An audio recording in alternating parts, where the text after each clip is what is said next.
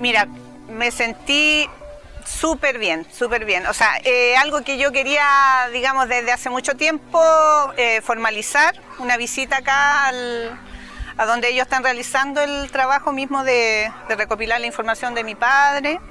Y pucha, fue maravillosa cuando recibimos la invitación, fue como al tiro, ya, yo voy sí o sí, no sé qué tenga que hacer, pero voy de todas maneras. Y aquí estoy, pues realmente no, es algo que deja sin palabras, o sea, ver eh, la emoción que ellos le ponen al trabajo, el profesionalismo, la pasión, eh, realmente conmueve. Conmueve que, también otras personas eh, consideren a Héctor Herrera como un gran artista.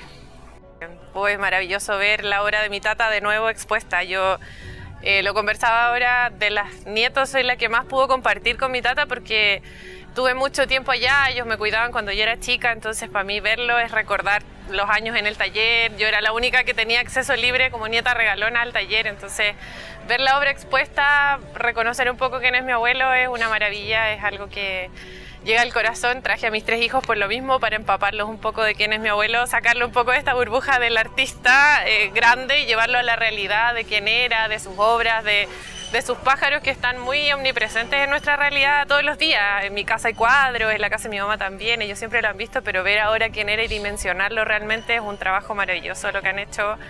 Eh, valorar a mi abuelo más allá de lo emocional como el artista maravilloso que fue y el legado que tiene es un, es una cosa que llena el corazón, así que muy, agradecida, de verdad, muy, muy contenta de, ver la obra de mi tata plasmada y el trabajo que se ha hecho, de verdad que es un trabajo a pulso, es algo minucioso, como solo gente dedicada a esto podía hacerlo, así que feliz, un orgullo ver y ser parte de este legado, así que muchísimas gracias a todo el equipo a todos quienes han participado y quienes admiran a mi abuelo desde, desde la otra perspectiva, desde la otra vereda. Yo tengo el lado emocional, para mí mi tata era lo máximo, el artista famoso, no había nadie más famoso que él.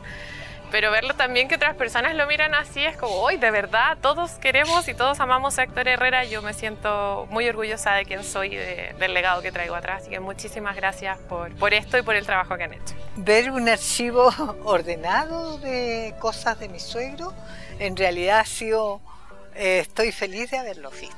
Haber visto tantas cosas que a lo mejor antes estaban en su taller y estaban entre el polvo y, materiales que él estaba usando y todo eso. Pero ahora lo veo tan ordenadito que en realidad me emocionó eso, me gustó mucho.